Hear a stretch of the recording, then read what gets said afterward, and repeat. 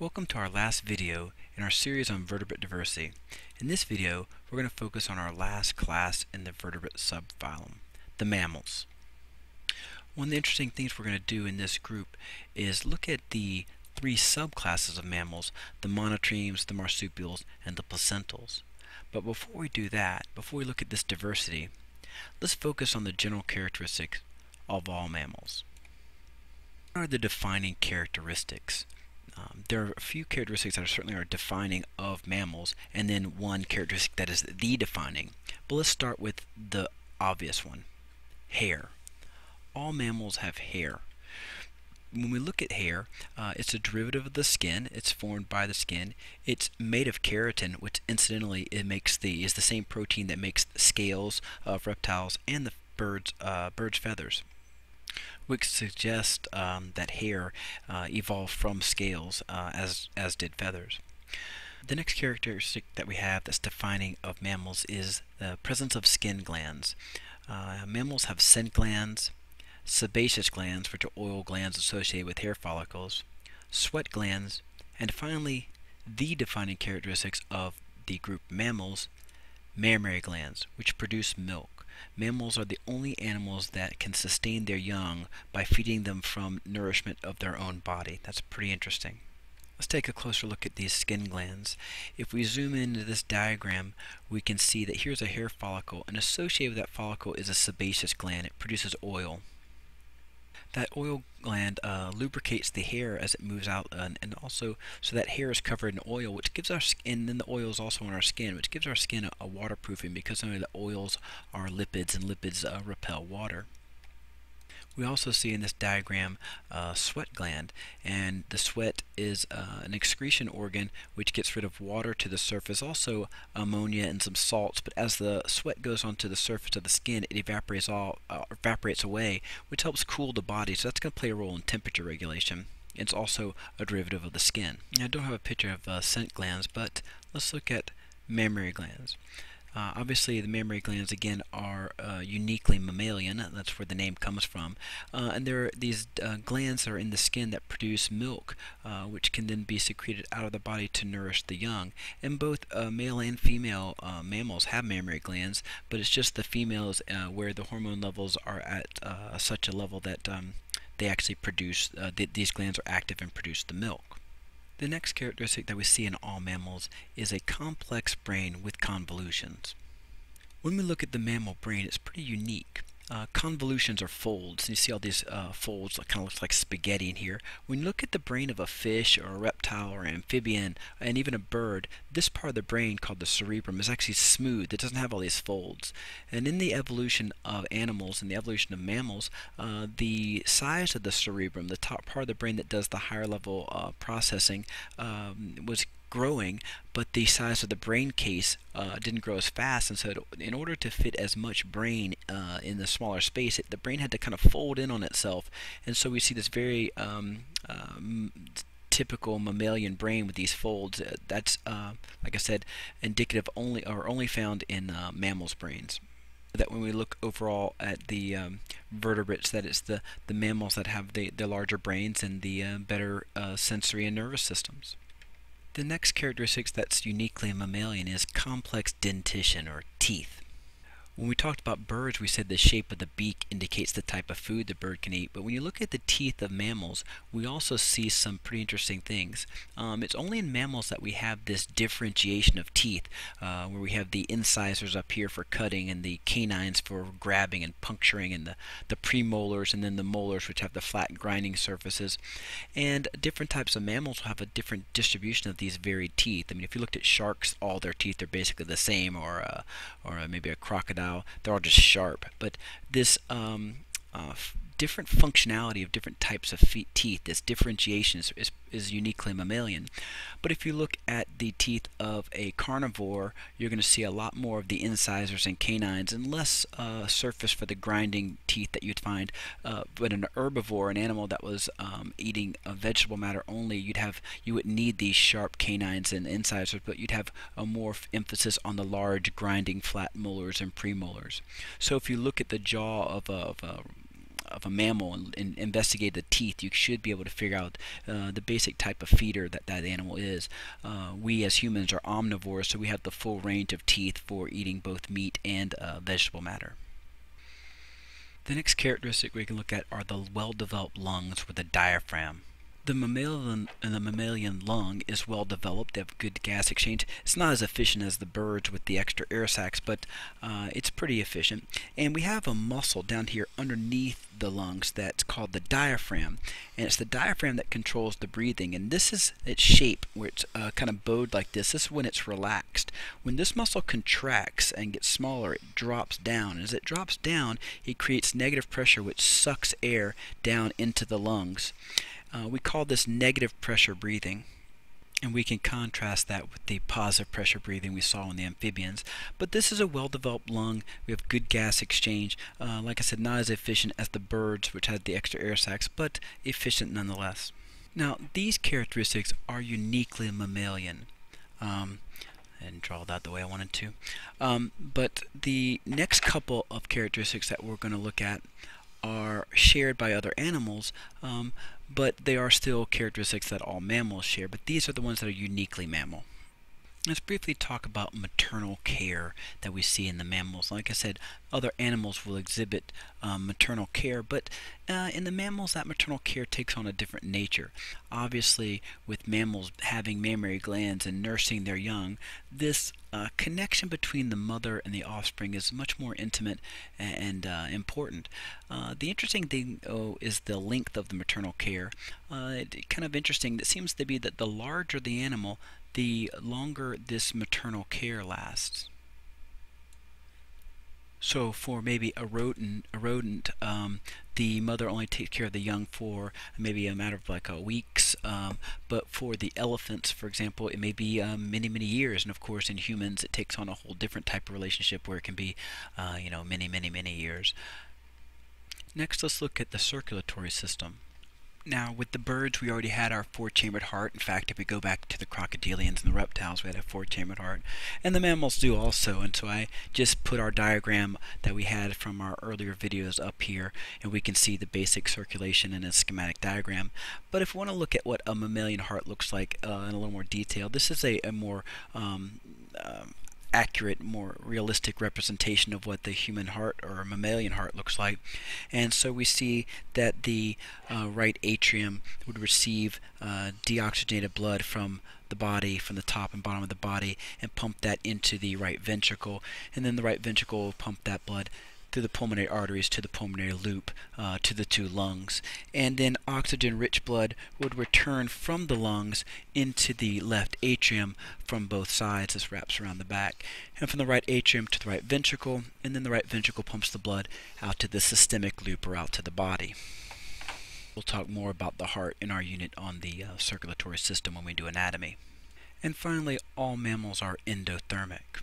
They generate and regulate their own body temperature through, through their meta metabolism their high metabolic rate will generate heat, and then the hair that all mammals have plays a role in keeping them warm.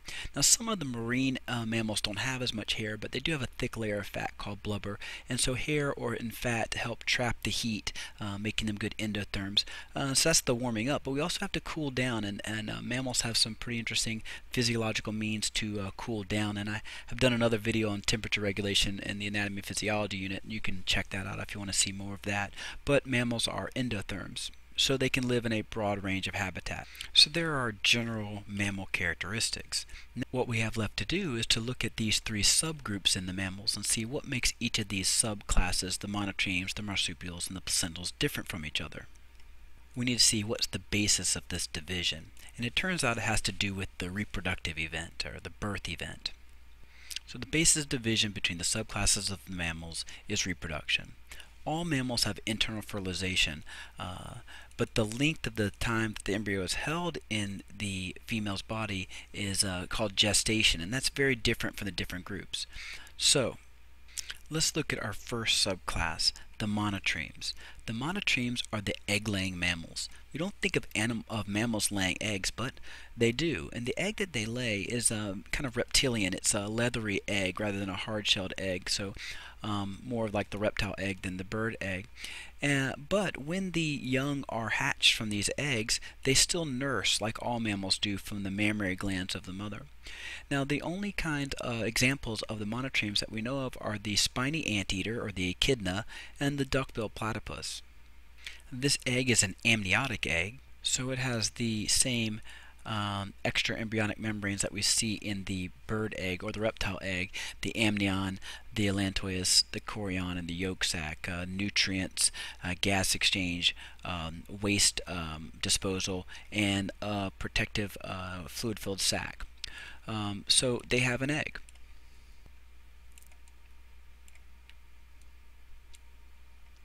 Now let's move on to the marsupials. The marsupials are our pouched mammals.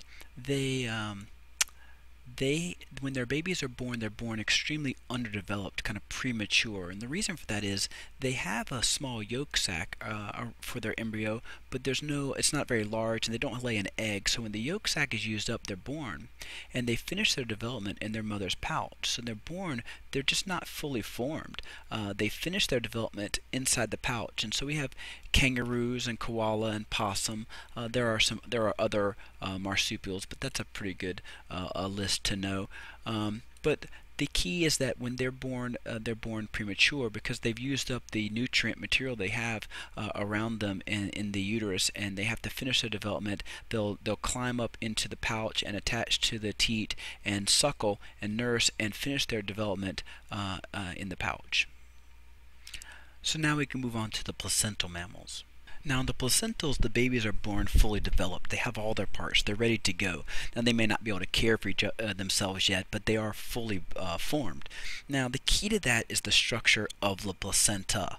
So we need to talk about what the placenta is and, and what it's doing uh, that the other mammals don't have. So if we draw some pictures here, and so I'm going to draw uh, a little embryo so here's my embryo and it's inside the uterus and it's surrounded of course by the amnion, the fluid-filled sac that all amniotes have around them.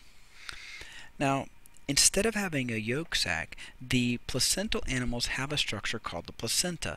It's an extension of the baby's body. Uh, you'd think an umbilical cord from where your belly button is. And this tissue comes out here and it attaches to the wall of the mother's uterus.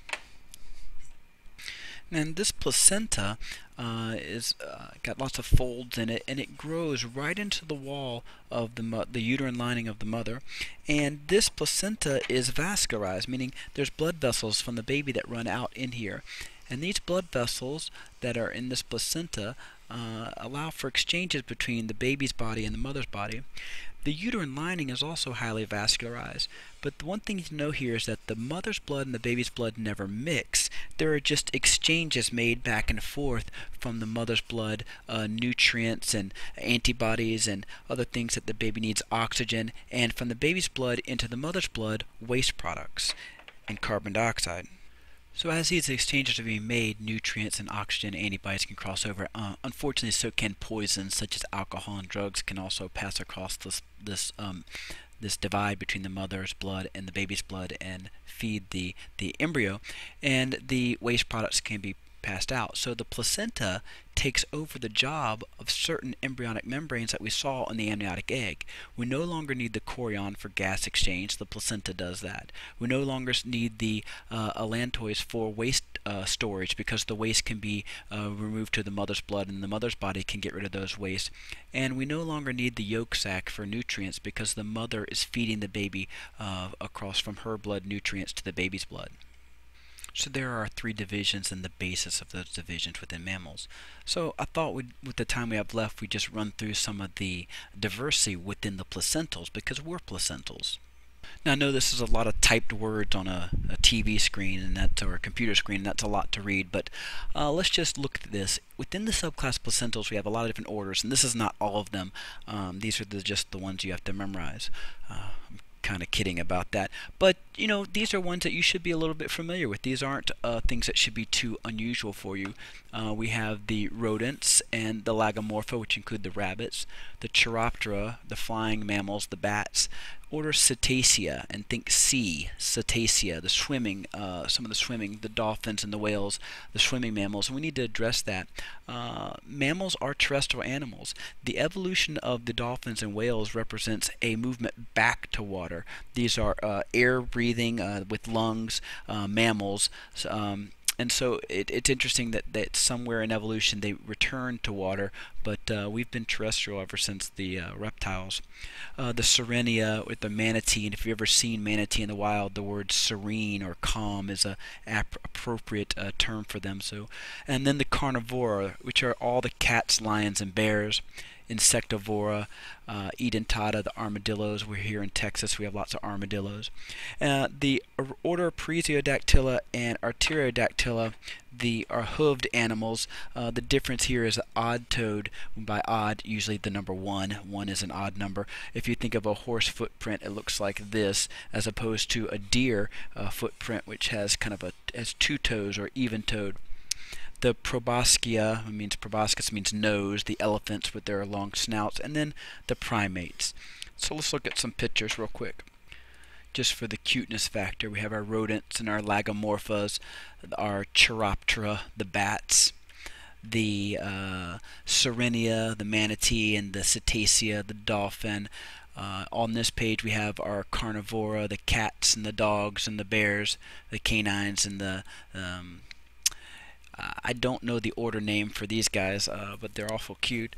And then we have our insectivores and our armadillos, our edentata, our hooved animals, the odd-toed uh, and the even-toed uh, hooved animals, the mammals, the proboscia, the elephants, and finally the primates. And this one went a little long, this video, but um, I hope that you got a good overview of the subclass mammals and that is our last video in our series on vertebrate diversity. We worked our way up from the other chordates, the subphyla of chordata, uh, through the vertebrates uh, and all the way up to mammals and then within mammals uh, we ended with primates.